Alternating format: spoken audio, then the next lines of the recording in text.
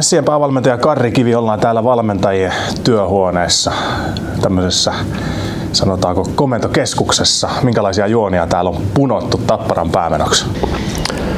Kymmeneltä aamu palaveri ja käydään vähän joukkueen kanssa juttuja läpi ja alivoimapeliä läpi tänä aamuna ja, ja sitten koitetaan saada kova latinkin tuohon iltaan, koska siellä on tappara vastassa ja ne on, he on tällä hetkellä erinomaisessa kunnossa, niin tänään tarvitaan kyllä koko leveys käyttöön.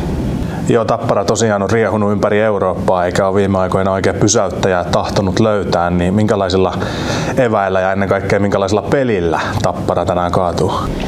No kyllähän nyt täytyy henkilökohtaisestikin pelaajien niin onnistua todellakin niin, että, että kaikki pienekin asiat, että liittyy ne sitten blokkeihin tai blokkaa niin hyvin, ettei tuu edes maalille tai tehopisteitä tai laukauksia tai kamppailuja tai syöttöjä, mitä tahansa, niin löytyy pelin jälkeen sarakkeesta, että on tuonut tuohon yhteisöön jotain ja sitä me tarvitaan. Ja tänään todellakin, että kymmenen ei riitä, että tarvitaan lähes 20 onnistuja.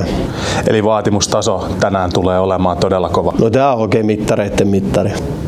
No mitä kokoonpanosta tässä kohtaa voidaan kertoa?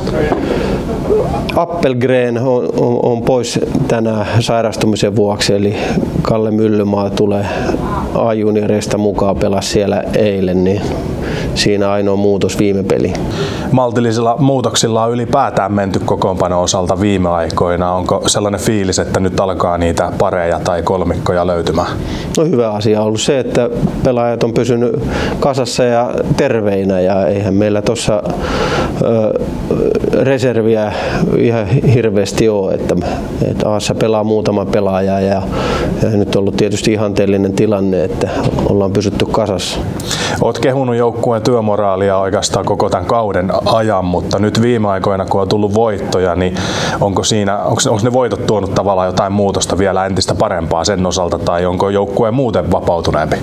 No totta kai voitto auttaa aina, mutta ky- kyllä tässä viikoittain nämä asiat elää ihan jatkuvasti ja, ja, ja se mihin me luotetaan, että mitä kautta on mahdollisuus saada tulosta aikaan, niin se ei ole muuttunut. Et tietysti konstit ja aina se, mitä halutaan terävöittää sillä hetkellä, niin ne vaihtuu viikoittain, mutta muuten niin se pohja on olemassa.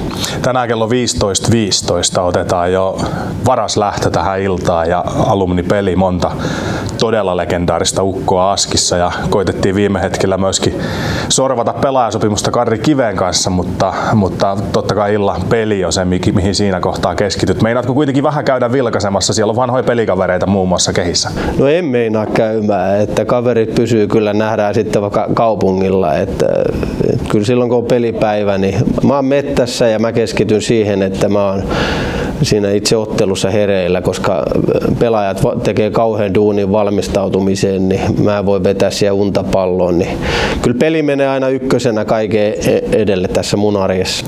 Kiitokset Karri ja valtavasti tsemppiä illan otteluun. Joo, kiitos.